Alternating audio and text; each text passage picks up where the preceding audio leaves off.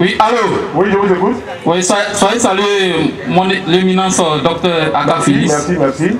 Et une fois, je suivais sur la chaîne nationale, il y a un docteur qui disait que de consommer de l'huile.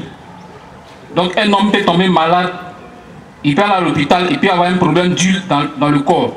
Donc j'aimerais savoir tous les huiles que nous avons sur le marché. Est-ce que c'est important, c'est bon pour notre santé? Ce qu'il faut utiliser, l'huile d'olive, l'huile de tournesol, l'huile de colza, l'huile de sésame, l'huile de balanites. L'huile de balanites, c'est une huile qui pousse dans la région de Bobo du Lasso, Boromo, Bama.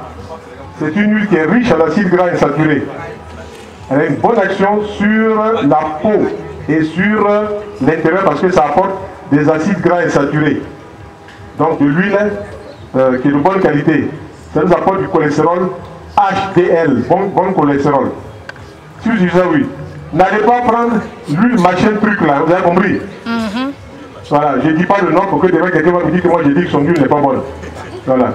Hein? D'accord. Suivez mon regard, l'huile machin truc là. Voilà, vous avez compris non?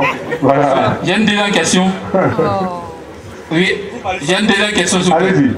Euh, Il y a, a l'un de mes cousins qui, qui, a un problème de tout grasse. Il faut qu'il arrête de manger tout ce qui est gras et qu'il mange des huiles de bonne qualité et qu'il mange beaucoup de fruits, beaucoup de légumes. Donc sa peau grasse va partir parce que sa peau le reflète ce qu'il y a dedans. C'est pas sorcier.